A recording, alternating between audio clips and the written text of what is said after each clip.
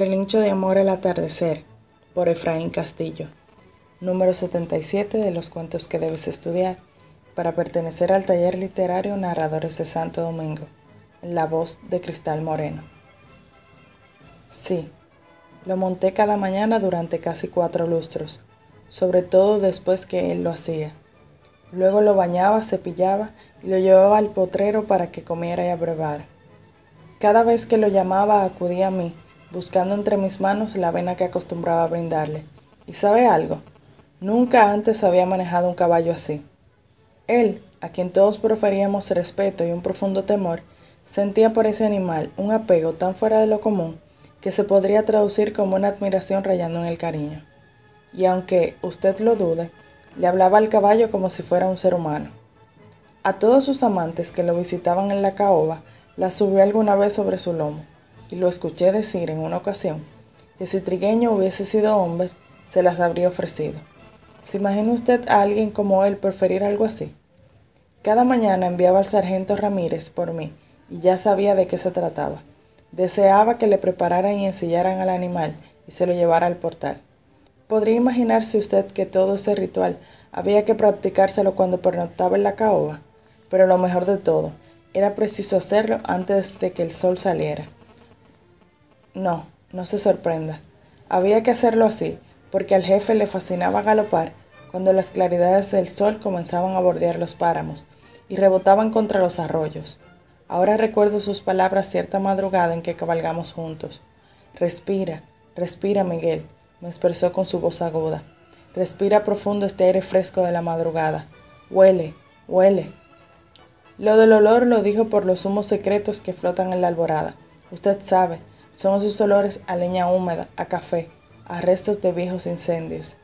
Sí, daba gusto verlo galopar entre los caobos, libres de las pesadas cargas de la administración pública, y mientras cabalgábamos, de vez en cuando, volteaba la cabeza hacia la casona de madera y miraba a la princesa de turno recostada en el balcón. Caballos así ya no nacen. Trigueño nació inteligente y fiel, fiel como pocos.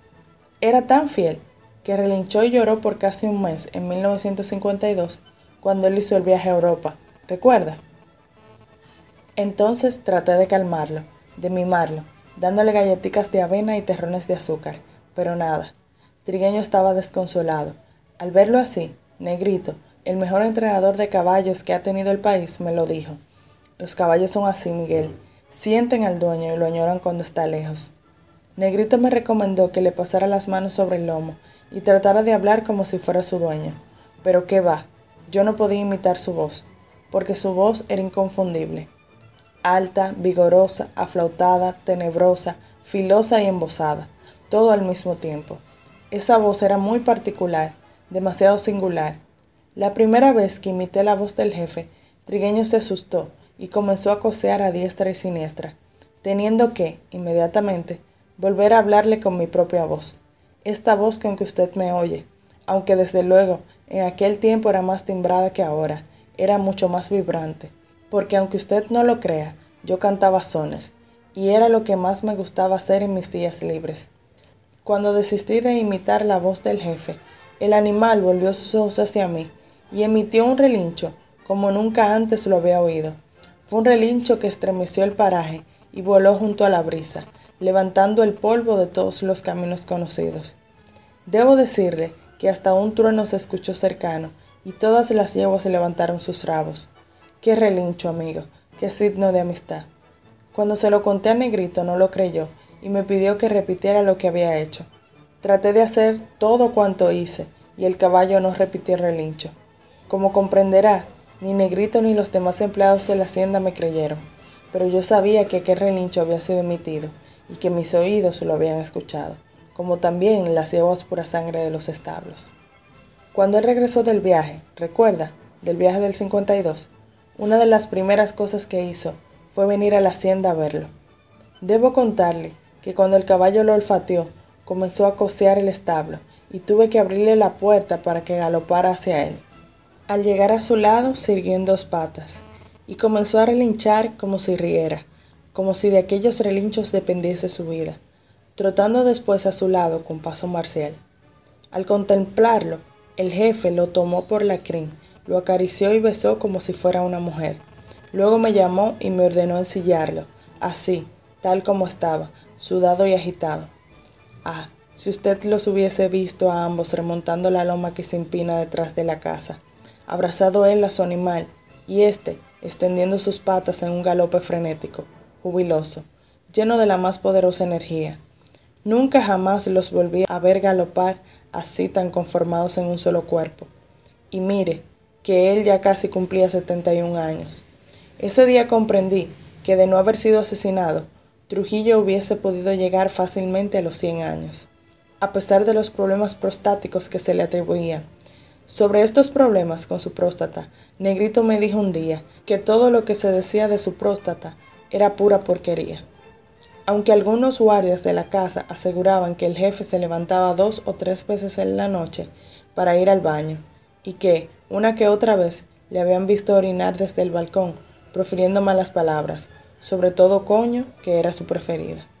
Cuando terminaron de cabalgar y él subió a la casa a cambiarse de ropa, Trigueño no quiso que lo llevara a las caballerizas y permaneció bajo el saliente de la galería del segundo piso, hasta que él salió, lo tomó por la brida y lo condujo al establo.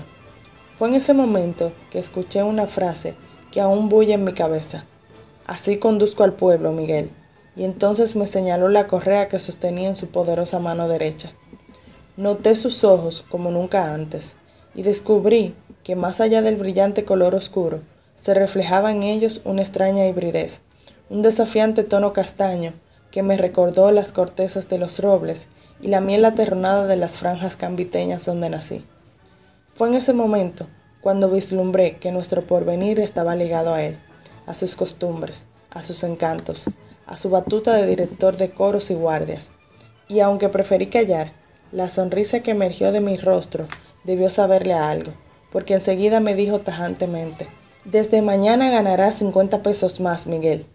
Y aquella frase hizo que saliera de mí, cuajada de miedo, ya no una sonrisa tímida, sino una verdadera risa, una incontenible carcajada que encabritó al caballo que llevaba a su lado.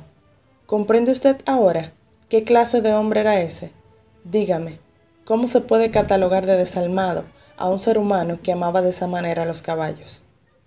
Una vez, su hijo varón mayor, Ramfis, trató de que ese maravilloso animal corriera en el hipódromo y él lo permitió. Y Trigueño corrió y corrió por meses, ganando siempre sus compromisos, hasta que se le interpuso otro caballo. Y fue a raíz de ese suceso que él se enfrentó a Ramfis, echándole en cara la derrota.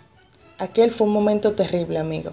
Él subió a la casa y lo observé pasear nervioso sobre el balcón, sentándose luego en su vieja mecedora que mandó a fabricar en Monción, muy superior a esa que le regalaron a Kennedy, donde pasó toda la tarde. Tal vez, si la distancia que nos separaba no hubiese sido tan amplia, habría descubierto en sus ojos, posiblemente, alguna lágrima de odio o quizás de pena pero esa tristeza solo podía adivinarla desde los 300 metros que separaban los establos de la casa. Negrito me contó más tarde que lo más probable era que el jefe hubiese llorado, tal y como lo hizo cuando murió la yegua coja, la madre de Trigueño. Según lo narrado por Negrito, el mismo día que lloró, el jefe dio órdenes muy estrictas para arreglar ciertos asuntos relacionados con algunos enemigos del régimen. Es una costumbre suya, me dijo Negrito, ajustar cuentas con sus enemigos cuando algo malo le sucede a los caballos. No puse en duda lo que me narró Negrito, pero lo cierto es que, durante los siguientes días, su carácter estuvo agrio e irascible, presentándose más temprano a la hacienda con alguna de sus amantes y embriagándose con su bebida favorita, el brandy fundador. Aquellos fueron unos días terribles, amigo, pero tanto él como nosotros nos acostumbramos a la derrota de Trigueño en el Perla Antillana, y otro caballo pasó a ser su favorito. Creo que nunca le perdonó a Ramfis la idea de poner a aquel ejemplar magnífico a correr en el hipódromo, y más aún exponerlo a la derrota. Tal vez usted no me crea, pero fue a partir de aquel momento que Ramfis dejó de ser el hijo mimado del jefe, aunque muchos atribuyeron ese distanciamiento al fracaso de sus estudios en los Estados Unidos. Aquellos fueron los días en que se coló el doctor, al que veíamos llegar a la caoba muy a menudo, montado en su limusina negra con placa oficial bajita. De más está decirle que tan solo pasaron algunos meses para que el doctor fuera impuesto como vicepresidente de la República en vez del que todos esperaban, su hijo mayor Ramfis. Probablemente usted creerá que especulo, que trato de confundirle la historia, pero lo único que deseo es hacerle ver las cosas como sucedieron desde los establos de la caoba, el escenario donde se escribió la realidad misma de la era. Esto que le cuento puede usted confirmarlo con Negrito y con la niña, que aún vive, o tal vez con el sargento Alvarado, que llegó a generar en los primeros 12 años del doctor y quien tiene ahora una finca de puercos por los alrededores de Mayor, en el este. Yo no tengo por qué mentirle, amigo.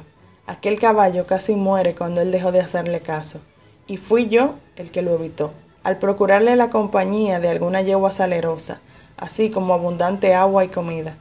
Sin embargo, debo contarle una historia que muy pocos han creído, pero cuya veracidad puedo jurarle.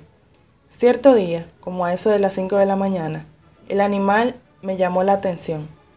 Me encontraba, aunque despierto, esperando acostado el sonido de la corneta con un relincho casi idéntico al que emitió cuando traté de imitar la voz del jefe.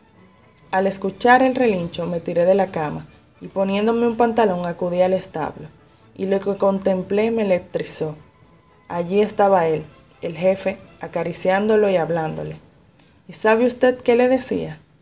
Pues le decía mi amor, pasándole las manos por la crin y extendiéndolas sobre el lomo hasta llegar a la cola. No supe qué hacer en ese momento, y me detuve en la puerta, ocultándome detrás de los sacos de afrecho. Fue un instante en que sentí mucho miedo, porque sí, porque estaba escuchándolo a él, el hombre más poderoso del país y de todo el Caribe, decirle mi amor a un caballo, al cual acariciaba como si se tratase de una mujer. Entonces decidí toser y expresar un buenos días, jefe, como quien acaba de llegar al establo. Él me miró y me lanzó a la cara. Miguel, este caballo está muy flaco, y se fue caminando con un dejo de tristeza o de melancolía o de rabia contenida.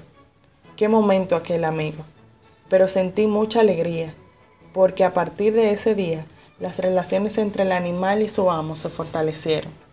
Y así transcurrió el tiempo hasta la muerte violenta del jefe, cuando el animal se mostró muy agitado. Entonces Trigueño había cumplido los 20 años y su velocidad y entusiasmo no eran igual que antes. A pesar de que doña María se había presentado en la hacienda a altas horas de la noche y de que todos sabíamos que algo raro estaba sucediendo, la amante que guardaba al jefe fue regresada a su casa antes de la medianoche. La noticia de que a Trujillo lo habían matado en el malecón no había trascendido de manera amplia en los contornos de la hacienda. Prácticamente aquello lo intuí a través de la mirada triste de Negrito. Sin embargo, no fue hasta que corrí al establo y contemplé al animal tendido a lo largo de la cuadrícula cuando supe que Trujillo estaba muerto. El temor se apoderó de mí porque no sentí la respiración del animal y arrodillándome a su lado puse una de mis manos sobre su hocico y el aliento la calentó. Entonces se levantó la cabeza, abrió los ojos, volviéndolos hacia mí, como si deseara decirme que lo sabía antes de que sucediera. Las lágrimas brotaron de mis ojos, no sé si por la muerte del jefe o por el estado en que veía a Trigueño. Un caballo otrora, orgulloso e imponente. Al día siguiente de la muerte del jefe, lo saqué a dar un paseo y Negrito me dijo que lo devolviera al establo porque lucía enfermo. Obedecí a Negrito y cuando lo conducía al establo, se soltó de mis manos y emprendió un loco galope por toda la hacienda, saltando la barda de los establos y corriendo velozmente hacia los montes vecinos. Para alcanzarlo, tuve que llamar a dos empleados y seguirlo hasta la toma, el balneario donde el jefe lo llevaba a brevar en los tiempos de sequía. Cuando el caballo me vio llegar, comenzó a resoplar, agitándose erguido y dando pequeños saltos. Ordené a los dos peones que regresaran a las caballerizas, y subiéndome a su lomo, le acaricié la cabeza y troté de vuelta a la caoba. El recorrido lo hice apenado, porque sabía lo que tenía el animal. En el galope lo sentí temblar y su cabeza, a cada rato, trataba de golpearla contra mi pecho. Cuando se apersonaron a la Hacienda Fundación los burócratas del Tribunal de Confiscaciones, primero, y luego los generales a repartirse el botín, traté de que no se tocara al animal, pero la policía lo requirió para su naciente cuerpo montado y se lo llevaron. Mientras lo hacían, contemplé su cabeza asomar por sobre las barandillas del camión y sus enormes ojos color avellana me miraron con una tristeza infinita. Años después supe la noticia. ¿La leyó usted? Trigueño escapó de las caballerizas del cuartel policial de la Avenida Independencia, ese que está frente al Hotel Hispaniola, y corrió como loco, atravesando la ciudad de sur a norte hasta llegar al hipódromo. Dicen que su galope se detuvo frente a la estatua de Dicayagua, a la que contempló por unos instantes, y luego entró vigoroso a las pistas de carreras, a las que dio varias vueltas a una velocidad prácticamente incronometrable, como ningún caballo lo había hecho antes. ¿Y sabe usted lo que hizo después? Pues se paró frente a frente al palco que el jefe solía ocupar todos los domingos y sirvió en dos patas, relinchando con furia con una inmensa e incontenible fuerza, tal como lo había hecho años atrás. Y entonces murió cuando el sol caía. Usted tiene todo el derecho a no creer lo que le he narrado, porque las historias que rodean a Trujillo están tocando los linderos de la mitología. Pero lo de Trigueño sucedió tal y como se lo he contado. Lo juro por mi Santa Madre, que de seguro está en el cielo que así fue como sucedió.